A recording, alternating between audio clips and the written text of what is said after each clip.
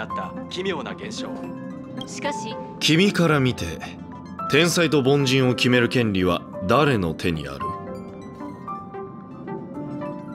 ヌースに選ばれなくとも僕の残した実績は価値を失ったりしない。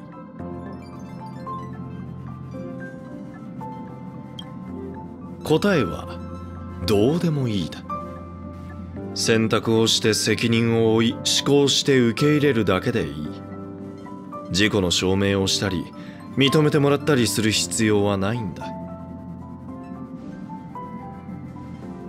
全世界に響き渡君から見て天才と凡人を決める権利は誰の手にある？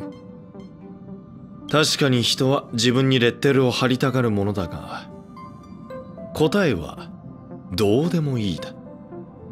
選択をして責任を負い思考して受け入れるだけでいい事故の証明をしたり認めてもらったりする必要はないんだ。